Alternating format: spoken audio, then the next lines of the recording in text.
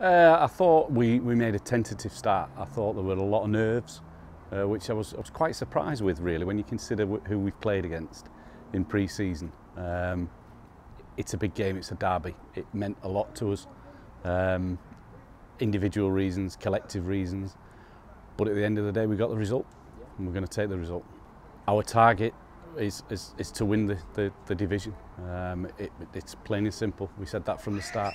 That's our target. That's what we're out, out to do. That's what we, we want to achieve. Um, we've a long way to go. We're not the finished article yet.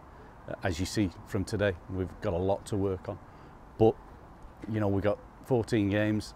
Um, we've got one, one in. In fact, we've got uh, 12 games, not 14. Um, one down, 11 to go.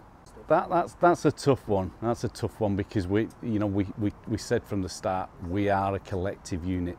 So for me to single out players, I, I think that would be a little bit unfair because I think, yes, there were some good individual performances, but at the end of the day, we're a, we're a, we're a unit.